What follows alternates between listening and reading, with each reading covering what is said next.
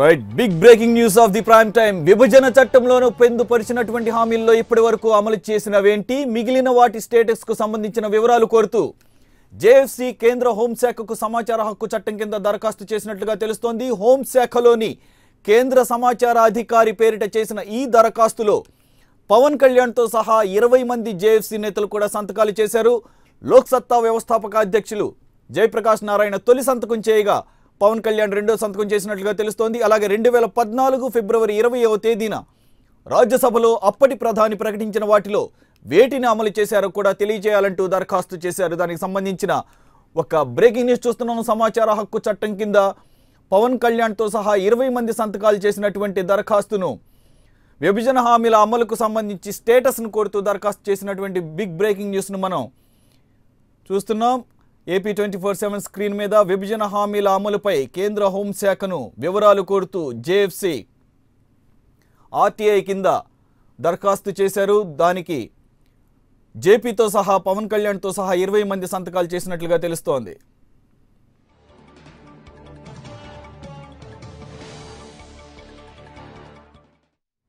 ఇక executive editor Sai గారితో మాట్లాడదాం. సాయి గారు ఈ ఆర్టీఐ కింద కోరినటువంటి దరఖాస్తుకు సంబంధించి కేంద్రం ఏ విధంగా స్పందించే అవకాశం ఉంది? యాక్చువల్గా సమాచార హక్కు చట్టం కింద కేంద్ర ప్రభుత్వం అంటూ ప్రత్యేకంగా స్పందించాల్సిన పని ఉండదు. ఆల్రెడీ డిపార్ట్మెంట్స్ వైడ్గా ఇవ్వాల్సి ఉంటుంది. ఇక్కడ విభజన హామీలకు సంబంధించి వీళ్ళు అప్లికేషన్ పెట్టినటువంటి కోణంలో ఒక చిన్న తేడా ఉంది. అది నేరుగా ప్ర- చీఫ్ సెక్రటరీకి పంపిస్తే అది మళ్ళీ హామీలు ఏమి ఇచ్చారు అనేటువంటి కాన్సెప్ట్కి కొంత కన్ఫ్యూజన్ ఉంటుంది. ఎందుకంటే విభజన చట్టం వేరు విభజన చట్టానికి సంబంధించినటువంటి హామీలు అమలు చేసేది ఒక్క విభాగం దగ్గర ఉండదు. వివిధ రకాలైనటువంటి విభాగాలు ఉంటాయి. కాబట్టి ఇది చీఫ్ సెక్రటరీకి పంపిస్తే కనుక దాని మీద ఈజీ ఉంటుంది. లేదంటే కనుక దీని మీద మా శాఖకి సంబంధం లేదు లేకపోతే మా శాఖకి సంబంధం లేదు లాంటివి వచ్చేటువంటి అవకాశం ఉంటుంది.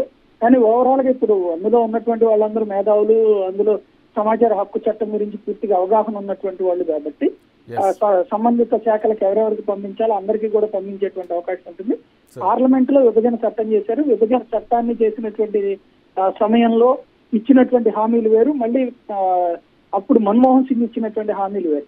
మన్మోహన్ సింగ్ ఇచ్చినటువంటి హామీలకు సంబంధించి అధికార యంత్రాంగం ఏమి ఆన్సర్ చేసే అవకాశం ఉండదు. విభజన. చట్టంలో ఉన్నటువంటి వాటిట్లో ఏమేమి ఇచ్చారనేటువంటి దానికి ఆ, ఇప్పుడు ఆన్సర్ వచ్చేటువంటి అవకాశం ఉంటుంది. ఆల్రెడీ భారతీయ జనతా పార్టీ ఇప్పుడు నిన్న రిలీజ్ చేసినటువంటి జాబితాకి సంబంధించి కూడా అవే ఉంటాయి అంశాలు. అవన్నీ వేగ్గా ఇచ్చినటువంటి అయితే కాదు చాలా పెద్ద ఎత్తున కసరత్తు చేసి కేంద్ర ప్రభుత్వం నుండి పూర్తి సమాచారం తీసుకున్న తర్వాత మనకు కూడా తెలుసు నరసింహారావు ఎవరైతే ఇంతకు ముందు ఎనలిస్ట్గా ఉండేవాళ్ళు ఆ, సర్వేలకు సంబంధించి క్లారిటీ ఉండదో ఆయన ఆధ్వర్యంలో టోటల్గా అంకెలన్నీ కూడా లెక్కలు ఇచ్చారు. అయితే ఈ లెక్కలకి నుండి ఇప్పుడు రాష్ట్ర ప్రభుత్వం అడుగుతున్నటువంటి దాంట్లో ఒకటే తేడా ఉంది. ఇవి సరిపోవు ఇంకా కావాలి విభజన చట్టంలో ఉన్నటువంటివి వాటిట్లలో మిస్ అయినాయి ఐదు అనేది వాళ్ళు కూడా ఒప్పుకున్నారు. ఆ ఐదుటికి సంబంధించినటువంటి రీజన్స్ చెప్పారు.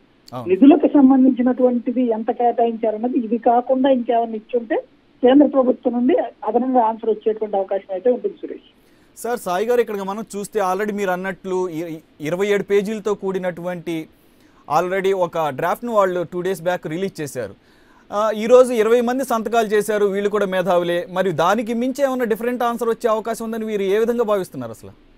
డిఫరెంట్ ఆన్సర్ అంటే డిపార్ట్మెంట్స్ వైడ్ ఏమో సమాచార హక్కు చట్టం ప్రభుత్వం వైపు నుంచి అధికారికంగా వస్తుంది. మొన్న రిలీజ్ చేసింది భారతీయ జనతా పార్టీ అధికారికంగా. పార్టీ ఇప్పుడు తెలుగుదేశం పార్టీ కూడా మొన్న ప్రభుత్వం వైపు నుంచి కాకుండా తెలుగుదేశం వైపుతో నివేదిక ఇచ్చింది. ఇప్పటిదాకా రాజకీయ అంశం పరంగా ఎవరికి వాళ్ళు మాట్లాడుకుంటున్నారు. Hmm. ఇప్పుడు రాజకీయంగా కాకుండా చట్టబద్ధమైనటువంటి ఆన్సర్ రావాల్సి ఉంటుంది. అంటే ప్రభుత్వం తరపున అధికారికంగా ఇప్పటికే జనసేన అని అడుగుతోంది కూడా అదే రాష్ట్ర ప్రభుత్వం కేంద్రం నుండి తీసుకున్న నిధులు ఎంత. అవి ఖర్చు చేసింది ఎంత అనేది అధికారికంగా ఇవ్వమని రాష్ట్ర ప్రభుత్వాన్ని అడుగుతున్నారు. అలాగే కేంద్ర ప్రభుత్వాన్ని కూడా పవన్ కళ్యాణ్ అడుగుతున్నారు. ఇద్దరు ఆన్సర్ కనుక వస్తే ఏది నిజం? ఇది పార్టీలు చెప్పింది నిజమా? ప్రభుత్వాలు చెప్పింది నిజమా? అనేటువంటిది లెక్క తెలిసే అవకాశం ఉంటుంది సురేష్.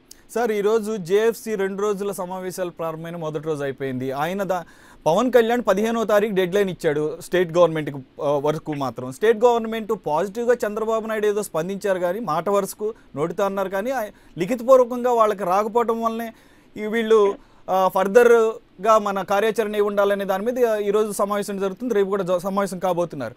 సో దీన్ని ఇంకాస్త ముందుకు తీసుకెళ్ళి దీన్ని రాష్ట్ర ప్రభుత్వాన్ని మీద నమ్మకం లేదు కాబట్టి కేంద్ర ప్రభుత్వం దగ్గరికి ఆర్టీఐ ద్వారా వెళ్ళారని అనుకోవచ్చా? అట్లా అనడానికి లేదు. పవన్ కళ్యాణ్ ఊరికినే కాంట్రవర్సీ క్రియేట్ చేసుకోవాలని అయితే అనుకోవట్లేదు. వివాదాలకు అతీతంగా వ్యవహరించాలనుకుంటున్నారు. రాజకీయ పరంగా ఇద్దరు కూడా ఇచ్చారు. ఒకరు కేంద్ర ప్రభుత్వం బాధ్యత కలిగినటువంటి పార్టీ రెండో వాళ్ళు రాష్ట్ర ప్రభుత్వం బాధ్యత కలిగినటువంటి పార్టీ. ఇద్దరు కూడా వాళ్ళ వాళ్ళు వేగ్గా అయితే ఇవ్వడానికి వీల్లేదు. కాకపోతే ఈ రెండిట్లో ఏది నిజము అనేటువంటి దాంట్లో ఆరోపణలు వచ్చినటువంటి నేపథ్యంలోనే ఫ్యాక్ట్ ఫైండింగ్ అనేది తేల్చాలనుకున్నారు. ఇది పార్టీల పరంగా కాకుండా ప్రభుత్వం నుంచి అధికారిక నివేదిక వచ్చినప్పుడు మాత్రమే క్లారిటీ వస్తుంది. రాష్ట్ర ప్రభుత్వం ఇప్పటికే శ్వేతపత్రాలు విడుదల చేస్తామంటుంది. అంటే పవన్ కళ్యాణ్కి క్రెడిట్ పోనీయకుండా ఆ, ముందుగానే శ్వేతపత్రాలు ఇంతకు ముందు గనక రెండు వేల పద్నాలుగుకి ముందు అంతకు ముందు తెలుగుదేశం హయాంలో ఏం జరిగింది కాంగ్రెస్ హయాంలో ఏం జరిగిందని ఎట్లాంటి శ్వేతపత్రాలు ఇచ్చారో అట్లాగే రాష్ట్ర ప్రభుత్వం తరపున శాఖల వారీగా కేంద్రం నుండి ఎంత నిధులు వచ్చినాయి అవి రాష్ట్రంలో ఏ మేరకు ఎక్కడెక్కడ ఖర్చు పెట్టారు అనేటువంటిది శ్వేతపత్రాలు విడుదల చేయాలని ప్రభుత్వం ఆల్రెడీ డిసైడ్ అయ్యింది.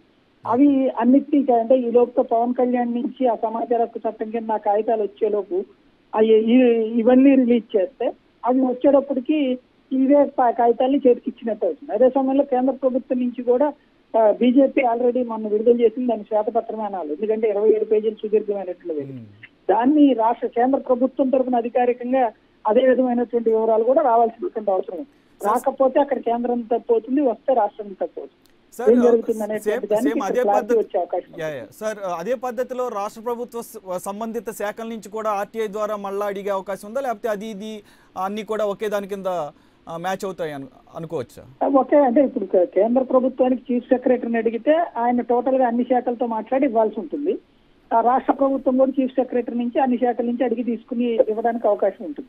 అయితే మరి సమాచార హక్కు చట్టం కింద ఇప్పుడు వీళ్ళు వేసినటువంటి ప్రశ్నని బేస్ చేసుకుని ఉంటుంది.